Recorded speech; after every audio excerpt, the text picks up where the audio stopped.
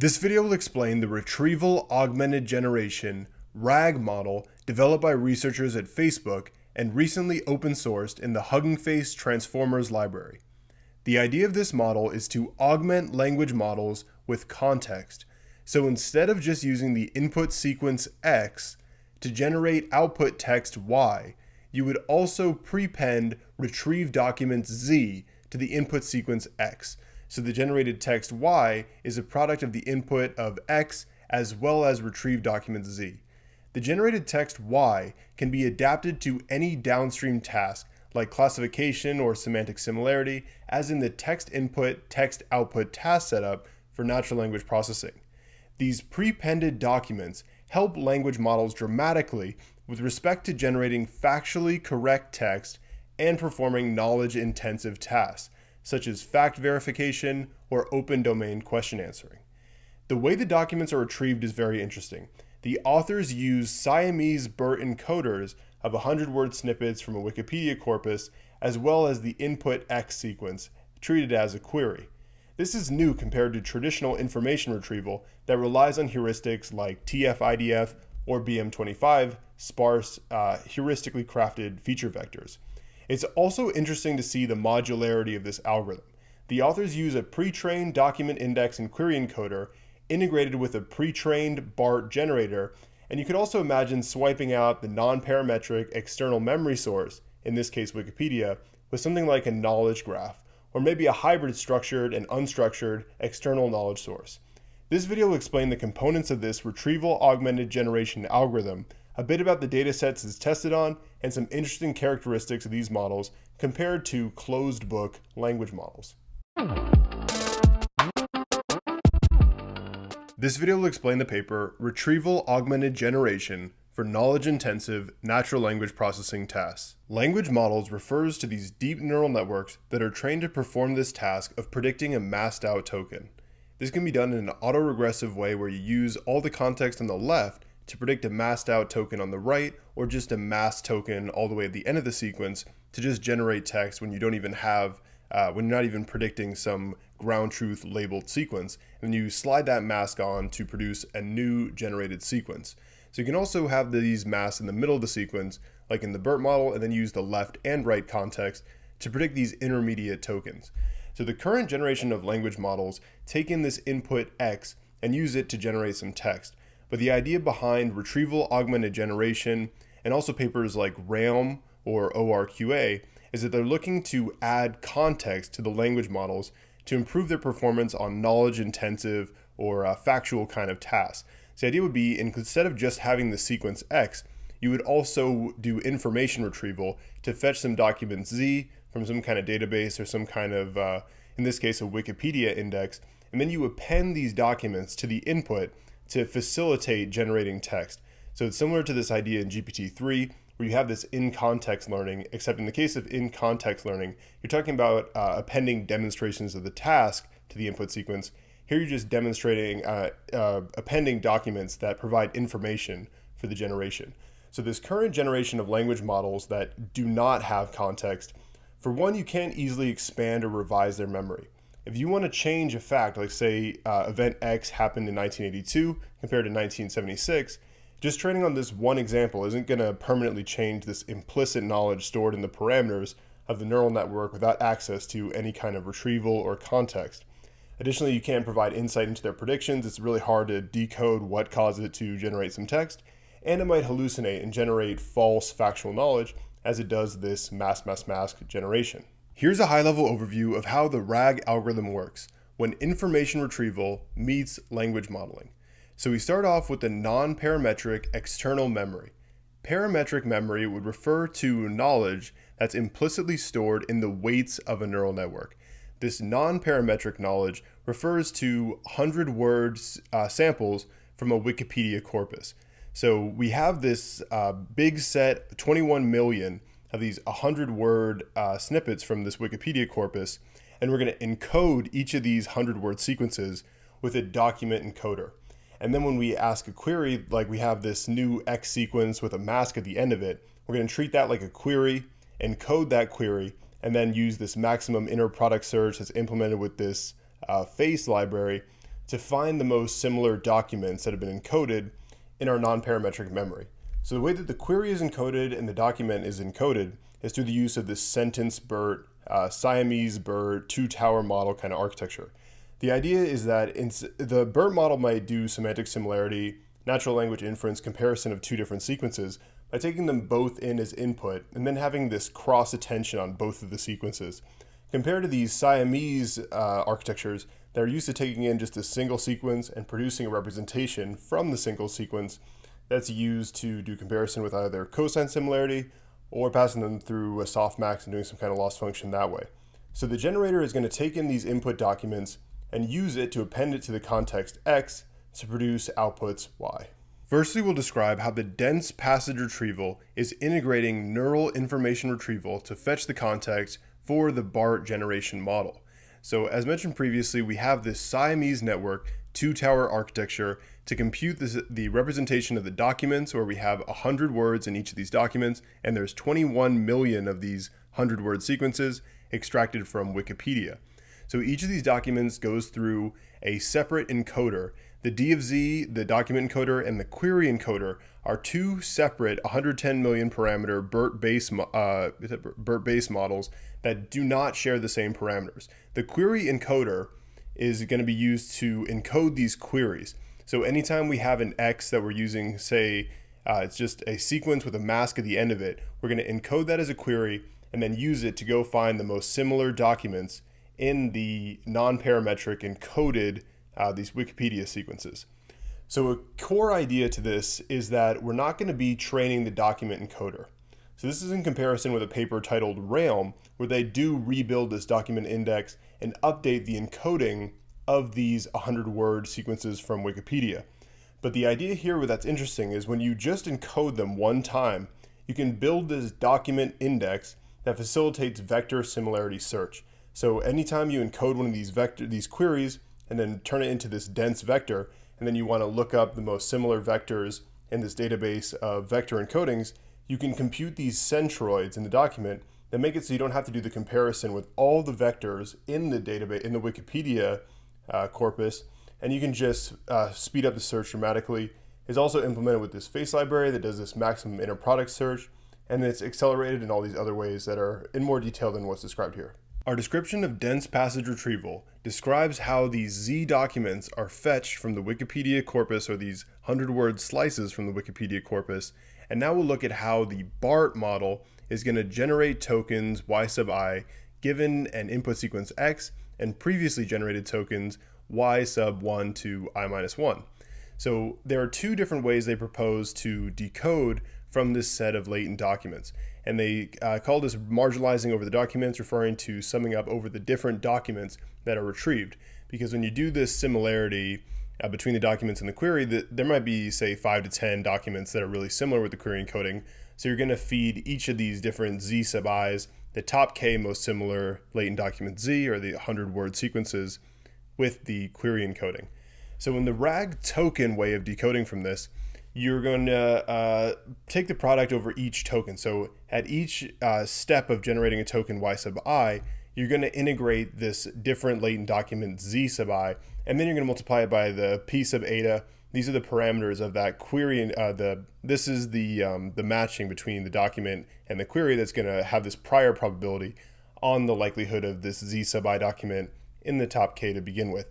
The PRAG sequence model is going to just take one latent document and generate an entire y1 to n, or however long the sequence is going to be. And then you're going to do that for each of the z's and then try to uh, multiply together the probabilities of those entire sequences but they're later on going to describe more about how the beam search is used to actually decode from these models. So there is a little more behind the details of how they decode from the uh, RAG sequence and RAG token, but from a high level idea, the BART model is a sequence to sequence model. It's going to encode the entire sequence, so in this case it could be uh, the Z latent documents, the input X, and then Y 1 up to I minus 1. It's going to encode that entire concatenated sequence and then it's going to start decoding and reconstructing the sequence, and then at the end of it, it'll put the next y sub i token. So the idea behind beam search, this is an illustration of a greedy search, just showing the path that's traversed along the generation. From this blog post is linked in the description of this video.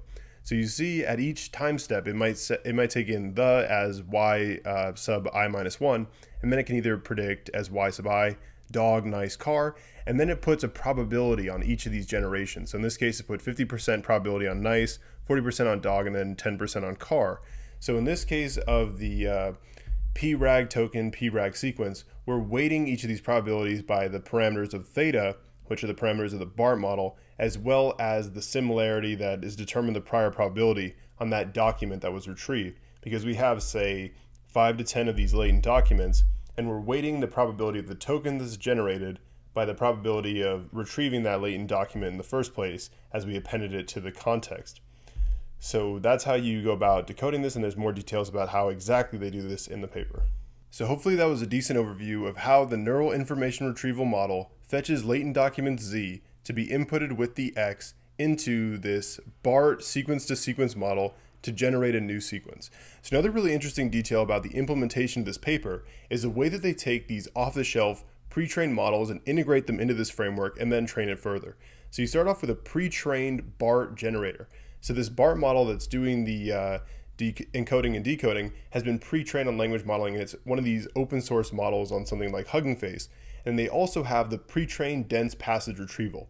And this is the training of the uh, document query encoding by fetching documents that contain answers to questions in natural questions and uh, web questions. And they also have the non-parametric external memory, the Wikipedia corpus. So you could imagine uh, taking out any one of these individual components and replacing it with something else to do the generation, to do the document encoding and the query encoding, or the non-parametric external memory source. You can imagine maybe swiping this out with something like a knowledge graph or some other kind of uh, memory source. These are some of the data sets that the authors test out the retrieval augmented generation model on.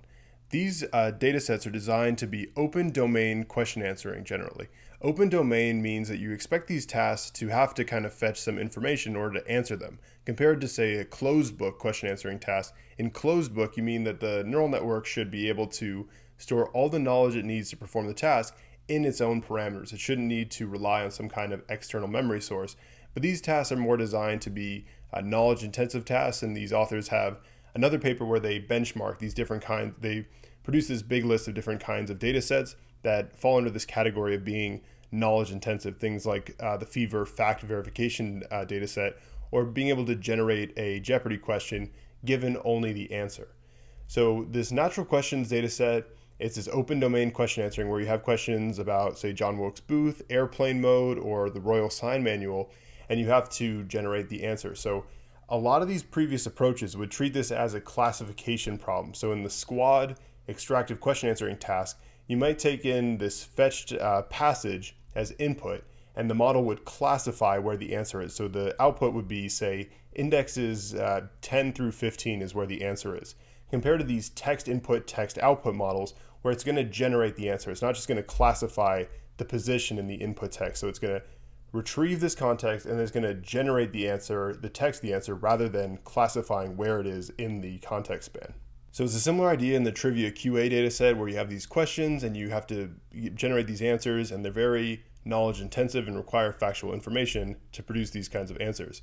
So they also look at this MS Marco dataset.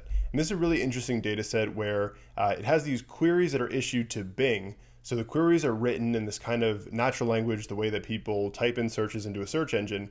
And then you have the top 10 passages and then the best answer is human annotated. So this is a description of the annotation interface that's used to take the top 10 passages that are uh, returned from Bing from this query and then find the uh, best answer that is human annotated. So this is another knowledge intensive task to be able to just answer any kind of search engine query with this kind of Wikipedia corpus, non-parametric memory, the neural information retrieval system, and then this BART uh, text output generator compared to classifying the answer within one of these spans. So then we also have the uh, fever data set, and so these are 185,000 uh, claims that are generated from Wikipedia. So the way that they annotate this is they uh, sample some text from Wikipedia, and then uh, the human annotator tries to uh, devise some kind of claim, like Barbara Bush was a spouse of a United States president during his term, and that would be an example of a uh, claim that is supported in the document and then another annotator would try to perturb this a little bit such that it's refuted by the evidence in the Wikipedia article. If you are interested further in these kinds of datasets, I recommend checking out this paper, uh, KILT, a benchmark for knowledge-intensive language tasks. These are results comparing the RAG token and RAG sequence models, which are two different ways of incorporating the latent document Z into the BART generation, compared with the Realm approach that continually rebuilds the document index and their previous paper, Dense Passage Retrieval, which is extended in this paper, Retrieval Augmented Generation. They're also comparing it with this closed book T5 model with 11 billion parameters, as well as the variant of T5 that's trained with salient span masking. And salient span masking was discovered to be better for uh, training, pre-training these models that eventually perform these knowledge-intensive tasks like natural questions, trivia QA, web questions, or CuratedTrec. So this is a really interesting test because uh, the RAG token RAG sequence, they have this BART model with about 400 million parameters compared to the T5 with 11 billion parameters. And they're both looking at completely different ways of accessing the knowledge in these neural networks. So the RAG model is going to go fetch this context and append it to the sequence, whereas the T5 model is just going to store all of the knowledge in the parameters of the neural network. And it's using 11 billion parameters to do such a task. But we see a massive performance difference with the retrieval augmented generation compared to the 11 billion parameter T5 model. The authors also test out the retrieval augmented generation model on the task of producing Jeopardy questions given the subject answer. So provided a subject like Hemingway, it generates this Jeopardy question such that the answer would be, uh, what is Hemingway, that kind of Jeopardy style. So here they're using human assessments to compare the difference between RAG and BART. So RAG is where we're fetching this context and appending it to the subject Hemingway. So it would be Hemingway, and then in front of this would be these fetch documents about Hemingway that facilitate generating this question. So it's showing this difference between BART or the RAG token decoding model. And the humans saying that the RAG token model is better than BART, or BART is better than RAG token, or both are good, both are bad, or they uh, can't tell, or something like that. And they're assessing this along how factual the generated questions are, which is a huge deal in these knowledge intensive tasks where you don't want these natural language processing models that you're relying on for these tasks to producing uh, text that isn't factually correct. Earlier we described that RAG token and RAG sequence are two different ways of marginalizing across all of the different retrieved documents Z to produce the output Y. So in this case, they're looking at how much each document, documents one through five, impacted a generated token. Say this is y sub i, and this uh, context to the left of it at any point, novel, and then this whole context to the left is y1 to i minus 1. So they're showing the, uh, the darker blue uh, squares indicate that document 2 had a massive impact on generating sun, and this had a massive impact on generating uh.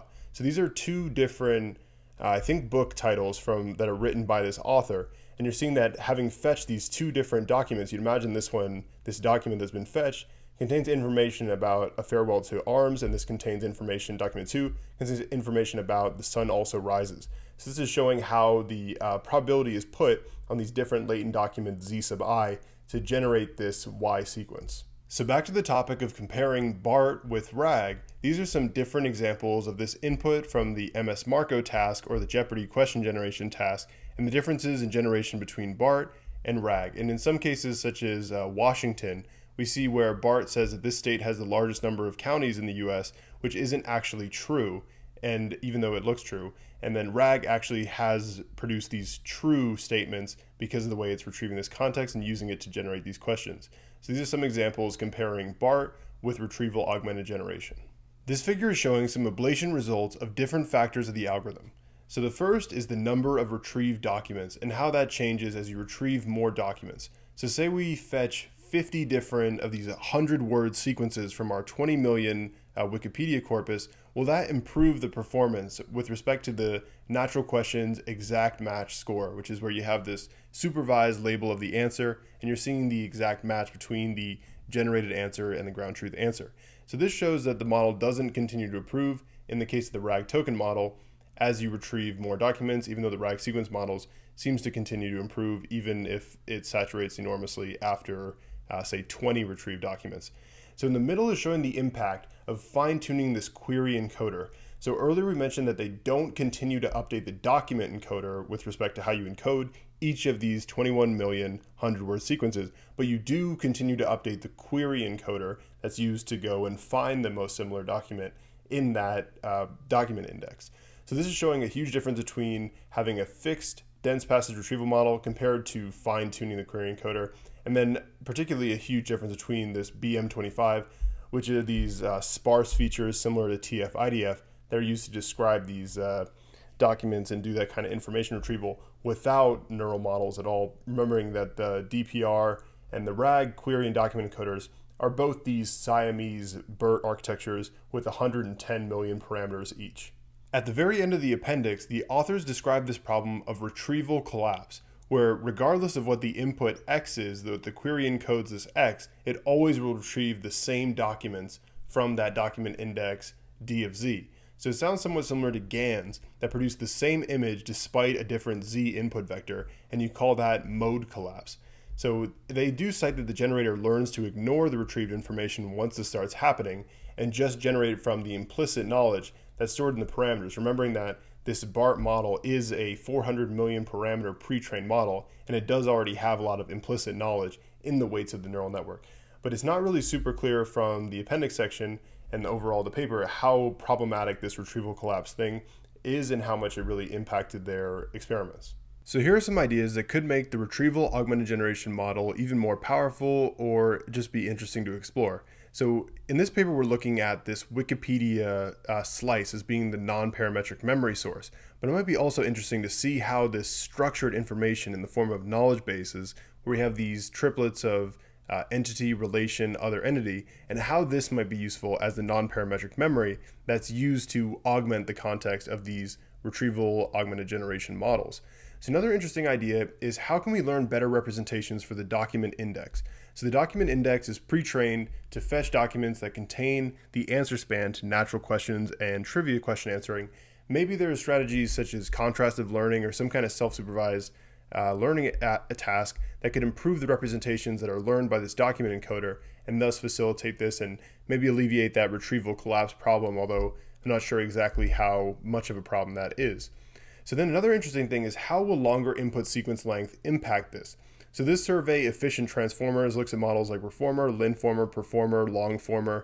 Uh, there's also models like Transformer XL and Compressive Transformer that use memory in the form of like kind of a recurrent memory structure. But how will attending over a longer sequence play with this uh, having a longer context sequence from fetched neural information retrieval? So we've looked at how retrieving more documents helped, but in that experiment of going from 10, 20, 30, 40 retrieved documents, you're still talking about marginalizing over them and uh, summing up over the probabilities compared to some kind of cross attention where the input is, say, uh, 5,000 words or some massive input sequence like that, and you have that cross attention over the whole sequence compared to multiplying the probabilities out of these smaller sequences. So it could be interesting to see how this efficient transformers plays into architectures that integrate neural information retrieval with generation. For a deeper dive into this paper, I highly recommend watching this talk from Patrick Lewis about the paper that will be linked in the description of this video. Thanks for watching this overview of retrieval augmented generation. Hopefully this video made the high-level algorithm clear, how they use this document encoding and the query encoding, and how they integrate that with the pre-trained BART model to have this context augmented generation of text and how they adapt this to these different tasks by generating this text input, text output kind of format, and how it can perform all these different knowledge intensive tasks. I'm really excited about this kind of model and it's been open source in the Hugging Face library. So if you do try it out, please let me know in the comments how your experience is with trying this model on your own problems. Thanks for watching and please subscribe to Henry AI Labs for more deep learning and AI videos.